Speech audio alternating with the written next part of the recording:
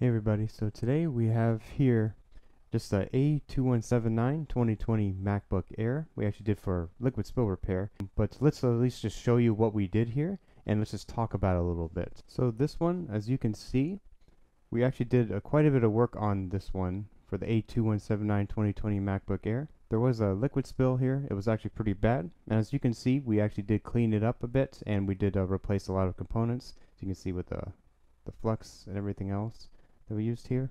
And you can also see from our, we have an audio jack board here that's also been pretty damaged itself. Since it's a separate board and we do have it actually at our store here, we just did a replacement on because you can see obviously how much damage is actually here.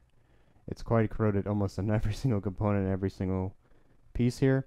And as well as, if you can see even the cable here has been impacted uh, very much from the liquid damage and there's some burn marks on there.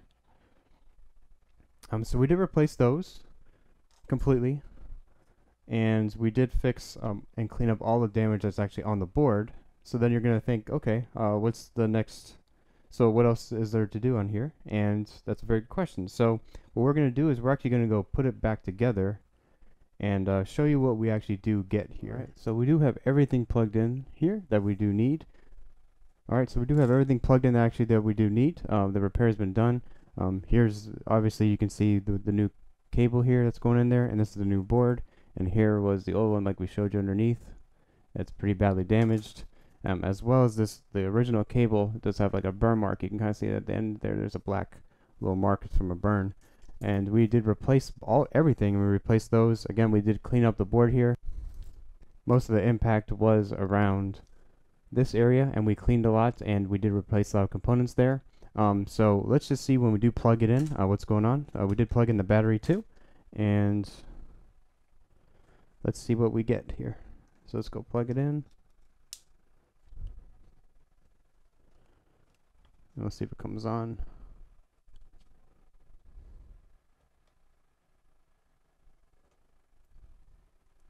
Um, for some of these models, um, obviously the fan doesn't really have to spin all the time. That's just how some of the MacBooks actually do work here and we do notice something. Um, so the processor is actually getting warm itself, and it's very faint, but there it is actually making a noise here.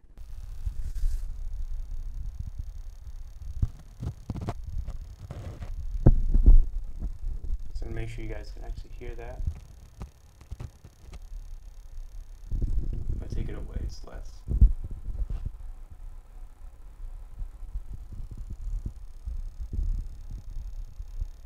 So you can hear that noise.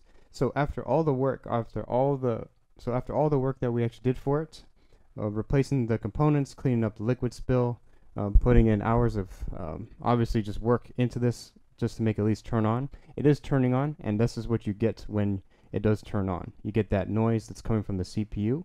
And um, the thing is, there's no display, there's nothing, nothing comes up, it's just a black screen. But when you plug it in, it does actually make this noise. Even when you unplug the cable here, um, it still shows that it, it's on and it will still make the same noise.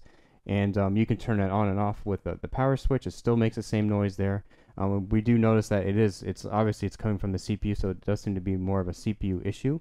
Obviously, since there's been a lot of uh, liquid spill damage, um, it can obviously impact the CPU itself there. But um, even after all this, um, this came in completely dead. Uh, we repaired it. We got it to at least turn on, get it to at least this point. Now the fact of the matter is that this itself, if you can see, this is actually a heatsink here. And what the heatsink usually does is um, it needs to go somewhere. It's because this is just a heatsink, so it's transferring heat from the CPU, and then it will touch the thermal paste, and the thermal paste will transfer it to the heatsink actually here. And then the heatsink usually has what is called a fin, and it will go off here, and it will show you it will go off here, and then the fan usually does blow um, air that's going from the heatsink. It will be blowing out usually outside of the laptop itself. It doesn't actually have that. It has a fan that doesn't have a. The whole point of having a fan here is to have a fin which connects to the heatsink and it will blow out. And we actually do have a great example of this. You can see this is actually what it should look like. Is there's usually a heatsink right here, and the, the there's a fin that actually transfers the heat here, and then the fan would go on where this side is, and it'll be blowing um, where the heat of the heat sink is transferring to this metal piece here and you will see the fan will be blowing out here this design on these macbook airs especially the ones from so all the A1932 and all the A2179 have the same type of design. Obviously engineering this, um, they, there's a reason for this fan to be here. It's blowing air somewhere and it's using, this fan has to have a purpose. There's no way it's just here and it's just not connected to anything. Maybe there's some other type of engineering, obviously that, that we're not aware of, that the, fan is being used here, but it's not being used at least to dissipate from the processor. We have seen similar designs on these types of heat sinks, um, especially on Intel uh, processors, that you might just see a heatsink here and you won't see a, fan actually. Um, here's a really good example on this is one of the Windows machines that actually does have this. And sometimes these are the Y processors. You might see like an Intel Y, uh, Y5, or I'm not too sure exactly what they're called, but they're supposed to be lower um, power consumption processors that do have this, this very similar type of design where it just has a heatsink. You can see there's a heatsink here, which is which is the where the copper is, and there will actually be no fan here. And underneath the the processor is usually like a thermal pad or some thermal paste, but there's no fan. And we have seen these in the past. Um, they've actually gone bad, especially a lot of the ones that don't have a fan do seem to fail quite a bit here, and we've seen a lot of them for repair. And usually the CPU actually does fail, and that's one of the major things.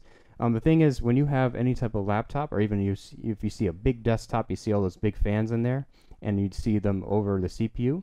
Those are heat sinks and they're cooling fans. Um, most of these higher powered, um, most of these higher powered Intel chips require this because what this is going to do is um, it needs to cool. The whole reason why your laptop makes a, has a fan, and the whole reason why the desktop has a fan because um, it's using a lot of energy. Um, it has a lot of wattage and a lot of power, and it needs to dissipate the heat somehow. So if you have a nice heatsink and you have a nice fan, you're going to have a pretty good performance. Um, sometimes we notice that the laptop is extremely hot.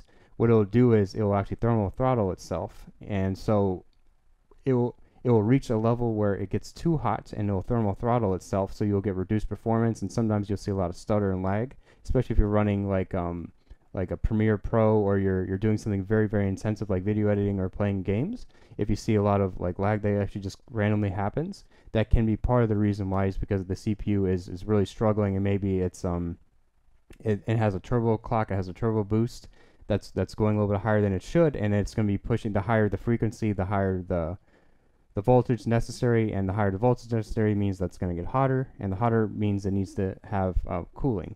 I mean, especially chips on your cell phone, uh, they actually don't really have a fan and that's because of just it's a lower power requirement. The new M1 chips will probably be pretty similar that they don't necessarily require a fan, but if they do get too hot, if they're doing a big workload, it will just get very, very hot. It's still good even to have a fan in there because the fan's obviously going to give it a, is going to cool it and it's going to run better. You're going to have more performance. Almost every single type of electronic that uses a lot of power does have fans. You can see like game consoles have fans. Um, any type of laptop, most laptops, obviously not this one, but um, obviously not this one, but uh, laptops and computers do have fans for that reason. It's to, it's to circulate air and it's to cool down this processor.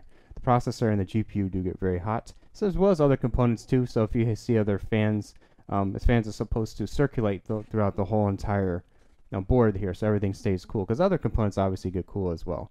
But just to get back to, to the point here, that the, this processor obviously has been impacted. Um, we did research this, and um, we do see that this is a CPU issue. So even after all the work that we did put in here to turn it on, and um, all the components that we did repair, and all the liquid spill that we did fix there, um, even for this client, it's it's still it still seems to be really un unrepairable as the CPU has been impacted.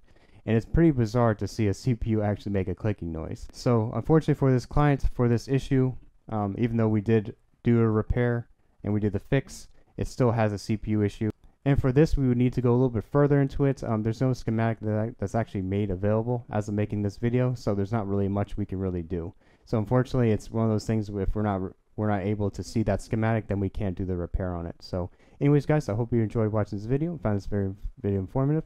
Um, please leave a like for more content on MacBook Air repair, especially other MacBooks and other Apple products that we actually do repair. Please leave a comment below if you actually have seen this issue before or ever heard of the CPU clicking on the MacBook Air 2020 A2179 or have you heard of it in any other of the MacBooks? Go ahead and check out our store and we do have lots of MacBook parts available. Check it out in the link in the description below as well.